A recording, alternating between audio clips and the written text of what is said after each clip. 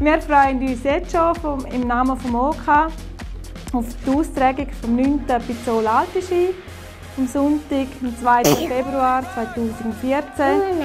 Und erwarten nicht nur einen Haufen Top-Athleten, sondern vor allem auch den Hobbysportler, der im Vordergrund Spass hat an diesem Sport und der an diesem Tag einen Haufen Schönes möchte erleben und auch Geselligkeit möchte geniessen. Wir haben auch schon für den Nachwuchs gesorgt, der hier schon bald in den Startlöchern steht.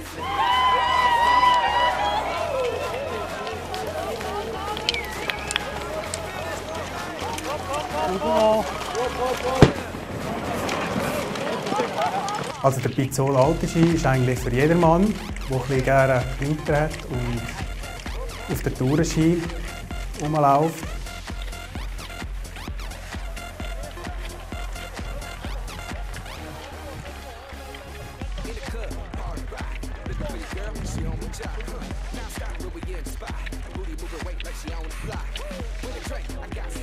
Kommt darauf an, wie man es macht. Also, jede Strecke hat seine Herausforderungen.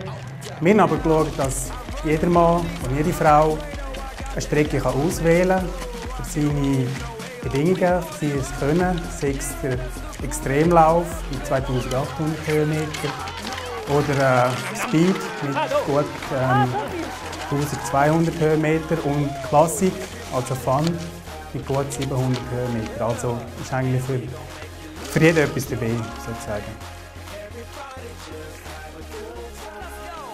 Den ganzen Körper braucht es hier, auf jeden Fall. Nebst den Lungen braucht es auch ja, gute Beine. Man muss, äh, in der Abfahrt ist wieder andere Muskeln gefragt. Oder? Man muss auch schnell runterfahren. Die Koordination ist sehr wichtig, also das Gleichgewicht, äh, Rumpf. Aufsteigen klar die Arme auch sehr, Nacken, Arme. Also man braucht eigentlich den ganzen Körper. Der Kopf ist auch sehr wichtig. Man muss doch äh, das eine oder andere Mal ein leiden oder durchbeissen und dann kommt schon auf den Kopf darauf an, dass man das auch durchstößt. Ja.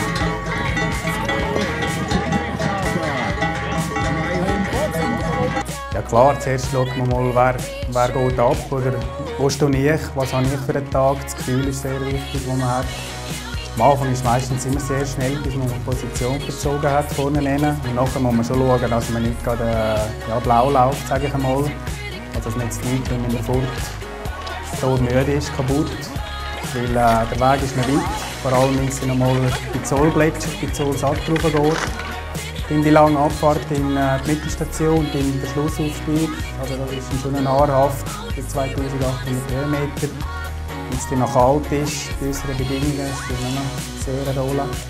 Also muss man schon ein bisschen mit der Kraft, mit der Kondition ein bisschen haushälterisch umgehen. Ja.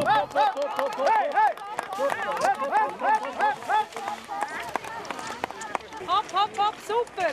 Ja, ich habe schon viel erlebt und kenne kein anderes, äh, keine andere Sportart, die so intensiv mit der Natur auch zusammen schafft. Oder? Darum hat es eine gewisse Wildheit des Sports und das macht es auch schön.